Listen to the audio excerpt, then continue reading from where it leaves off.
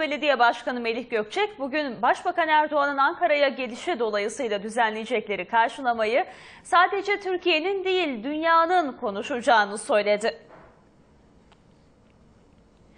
Twitter üzerinden Ankara Başbakanını karşılıyor başlığıyla bir kampanya başlatıldı. Ankara Büyükşehir Belediye Başkanı Melih Gökçek karşılamaya destek verirken takipçilerini teşvik etmek için pazar günü en geç saat 15'te Esenboğa yolundayız. İnşallah sadece Türkiye değil dünya bu karşılamayı konuşacak dedi.